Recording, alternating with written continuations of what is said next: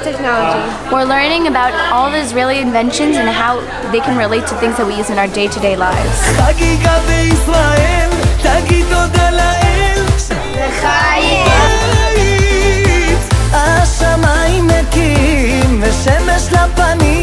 Today we learned about many Israeli innovations like lab-grown meat, cherry tomatoes, drip irrigation, and SodaStream.